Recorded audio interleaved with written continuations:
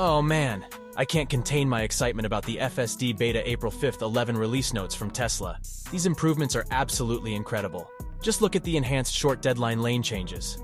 Tesla has worked on better modeling of target lane vehicles, which means the car will now choose gaps more assertively and avoid going off route. That's some serious confidence and precision right there. And wait, there's more. Tesla has improved the handling of oncoming cars on narrow, unmarked roads. The prediction of their trajectories has been enhanced, ensuring that enough room is left for them to pass before recentering. Talk about smooth and safe driving. But that's not all. Tesla has expanded the usage of the new Object Ground Truth auto labeler, resulting in improved recall and geometry precision for distant vehicles like semi-trucks, trailers, and even exotic vehicles. It's like the car has become a master at spotting them. The improvements in VRU control and behavior near VRUs are mind-blowing.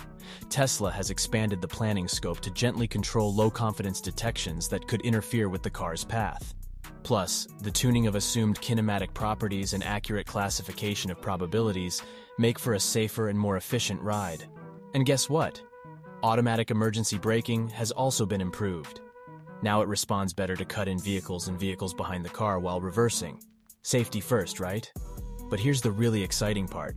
The driving visualization has been taken to a whole new level. When full self-driving is engaged, the instrument panel displays an expanded visualization that provides additional surrounding information. It's like having a superpowered view of the road. Tesla has also focused on improving control through turns and overall smoothness. By enhancing the geometry, curvature, position, type, and topology of lanes, lines, road edges, and restricted spaces, they've taken the driving experience to a whole new level.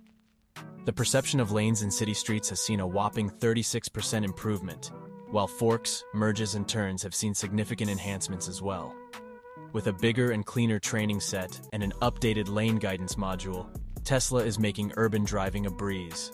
Oh, and did I mention the improved motorbike recall and increased vehicle detection precision? False positive detections are being reduced, making the driving experience even more accurate and reliable.